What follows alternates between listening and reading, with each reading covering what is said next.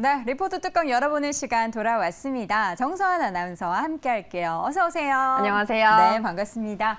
자, 오늘 리포트는 과연 또 뭘 선택을 했을까요? 첫 번째 리포트 뚜껑부터 열어보겠습니다. 네, 첫 번째는 원익 머트리얼즈 뚜껑 열어보도록 하겠습니다. 네. 신한투자증권에서 이 2030년도에도 성장이라는 question mark를 달았고요. 음. 네. 목표 주가로는 3만 9천 원을 유지했습니다. 네, 첫 번째 원익 머트리얼즈. 그럼 오늘 주가는 과연 어떨까요? 현재 주가 상황 보도록 하겠습니다. 자, 현재 원익 머트리얼즈의 주가입니다. 4% 넘는 강세 보이고 있고요. 31,750원 기록이 되고 있습니다. 자, 실적 내용부터 좀 봐주세요. 네, 일단 먼저 3분기를 포함한 이 원익 머트리얼즈의 올해 연간 실적을 체크해 보도록 하겠습니다. 그래프를 준비했는데요. 일단 매출액 부분에서는 전년 대비 총 79.9%가 증가했고요. 영업이익은 81.2%의 증가세를 보였습니다. 일단 동사는 이 반도체 rare gas를 상품으로 이제 조달해서 공급을 하고 있는데 이 러시아 우크라이나 전쟁 이후 이 반도체 rare gas 가격이 공급 부족으로 급등 세를 보였습니다. 네, 그래서 그래프에서 보시다시피 이 1분기부터 매출이 급증을 했고요. 3분기까지 기록적인 실적을 네, 보여줬습니다. 하지만 주가는 반대 흐름을 보였습니다. 12.9% 정도의 하락세를 보였는데요. 그 이유는 바로 이러한 올해의 이 실적 증가가 일회성이라고 판단해 이 내년에는 실적이 감소할 것이다라는 우려 때문이었습니다. 예, 하지만 증권사에서는 내년에도 실적 성장을 볼수 있을 것이다 라고 긍정적인 전망을 제시했는데요. 이 단서로 동사의 재고 자산을 이유로 꼽았습니다. 이 재고 사단 쪽 그래프를 한번 보도록 하겠습니다. 네, 그래프에서처럼 이 동사의 재고 자산 증가와 이 또한 원재료 매입액 증가로 내년 매출 인식 규모를 예상해 볼 수가 있었는데요. 일단 3분기 재고 자산이 재고 이 자산이 1,609억 원 정도가 된다고 합니다.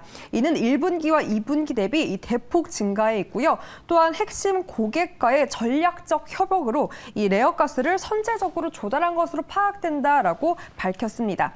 때문에 3분기 매출 원가가 이 1,069억 원에 그친 점을 감안한다면 이 상당한 규모가 이렇게 아직은 매출 인식이 되지 않은 상태라고 언급하면서 이 때문에 이 중장기 협력 관계에서 rare gas 공급 부족 이 지속 상황을 고려한다면 내년에는 이렇게 연간 실적 증가도 충분히 기대해 볼 수 있다라는 증권사의 분석이었습니다. 네, 첫 번째 실적 내용을 봤는데요. 잘 뭔가 조정을 요리조리 좀 현명하게 했던 그런 부분들이 실적에도 반영이 된 것 같습니다.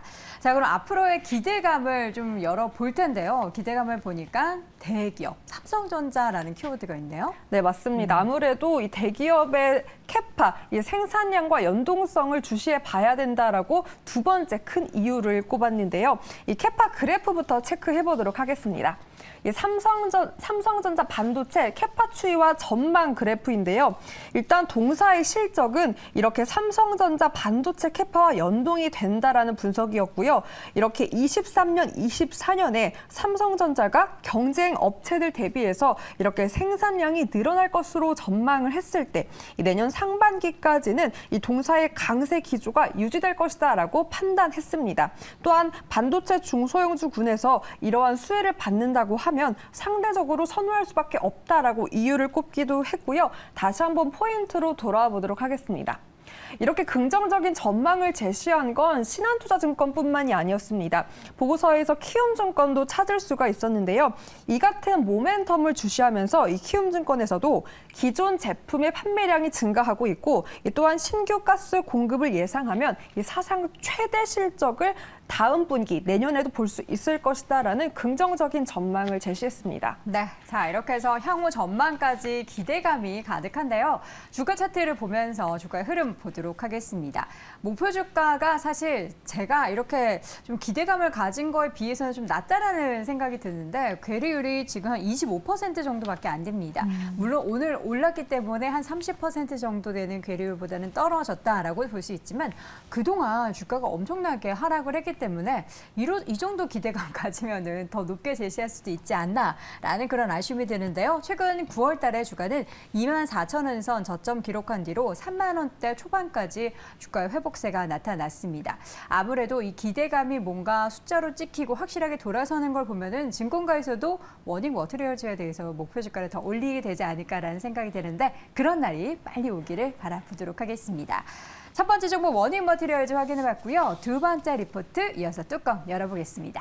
네, 최근 뭐 중국 어떤 완화 기대감으로 콘텐츠의 흐름이 좋은데요. 그쵸. 이 스튜디오 드래곤 뚜껑 열어보도록 하겠습니다. 네. 이 펀더멘털과 모멘텀이 모두 준비가 완료되었다라는 보고서 분석이었고요. NH투자증권에서는 목표 주가로 10만 원을 유지했습니다. 깔끔하게 10만 원 목표 주가 제시된 스튜디오 드래곤도 최근에 흐름 좋습니다. 오늘장에서는 소폭 강세 흐름 보이면서 6만 9,700원 기록이 되고 있습니다. 일단 실적 내용이 굉장히 좋았잖아요. 네, 맞습니다. 이 스튜디오 드래곤이 창사 이래 이 최대 분기 매출을 달성하면서 일단 동사의 분위기는 현재 네, 맑음이라고 합니다.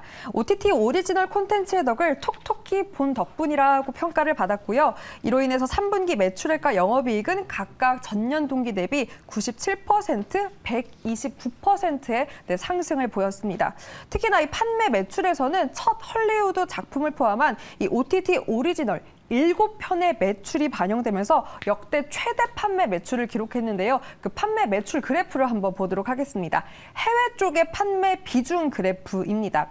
이 보고서에서는 지난 3년간 이렇게 동사가 넷플릭스에 공급한 작품 대부분이 이 아시아와 서구권에서 흥행에 성공하면서 우호적인 조건으로 계약을 진행할 수 있었다고 합니다. 이에 따라서 이렇게 작품당 판매 가격 성장에 힘입어서 이 동사에 조금 유리한 이 프로젝트당 마진이 유의미하게 개선을 할 수 있을 것이다라고 바라봤고요. 때문에 이런 실적 기대도 더욱더 바라볼 수 있다라는 점을 짚었습니다. 하지만 이 경기 둔화로 광고 시장이 어려워지면 어떡하지에 대한 시장의 우려도 여전히 잔존해 있는데요. OTT 방역 회차 그래프 이어서 보도록 하겠습니다. 이 보고서에 따르면 경기 둔화로 편성 매출이 감소한다고 하더라도 이렇게 OTT양 판매가 호조되고 있기 때문에 수익성이 이를 상쇄시킬 수 있다라고 언급하기도 했습니다.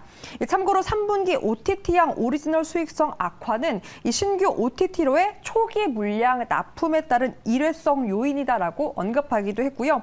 향후 이 넷플릭스 외에도 이 다른 글로벌 OTT와의 계약이 이어질 것으로 보이는 만큼 이 경기 둔화에도 비교적 안정적인 수익을 유지할 수 있을 것이다라는 긍정적인 전망을 내세웠습니다. 네, 첫 번째로는 펀더멘탈 내용을 확인해 봤다면 이제는 모멘텀을 확인해 볼 텐데요. 뭐가 모멘텀이 될 거라고 봅니까? 네, 이러한 호실적을 계속해서 이어줄 수 있는 모멘텀, 무엇보다 작품을 예로 들었습니다. 4분기 모멘텀으로 제시했던 현재 방영 중이죠. 네, 작품들을 한번 사진으로 준비해 봤는데요. 네, 인기리에 방영 중인 슈룹도 있습니다. 정말 김혜수 배우님의 열연이 돋보이고 있는 사극 드라마고요.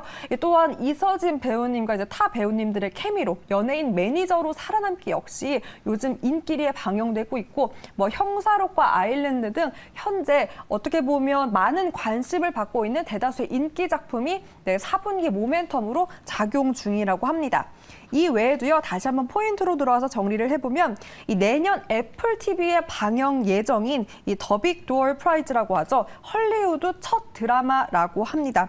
이 동사의 처음 헐리우드 진출 드라마와 또 이 외에도 내년 예정된 넷플릭스 대형 오리지널 작품이죠. 뭐 더 글로리 2라던가 스위트 홈, 또 경성 크리처도 주목해보자라고 언급을 했습니다. 이를 반영해 실적 그래프 전망 한번 보도록 하겠습니다. 네, 보고서에 따르면 이 넷플릭스 광고 도입에 따른 간접 수혜도 볼 수 있다라고 제시를 했고요. 뭐 OTT 사업자들의 계약을 통해 이 경기 둔화 국면에서도 안정적인 실적을 볼 수 있다면서 이렇게 4분기에도 그러한 기세 이어갈 수 있다라는 네, 전망을 제시했습니다. 네, 이렇게 해서 스튜디오 드래곤의 앞으로의 모멘텀이 될 내용까지 쭉 확인해 봤습니다. 목표 주가 10만 원 함께 기억해 두시기 바라겠고요. 오늘도 리포트 뚜껑 여러분이 정서한 아나운서 함께했습니다. 고맙습니다. 고맙습니다.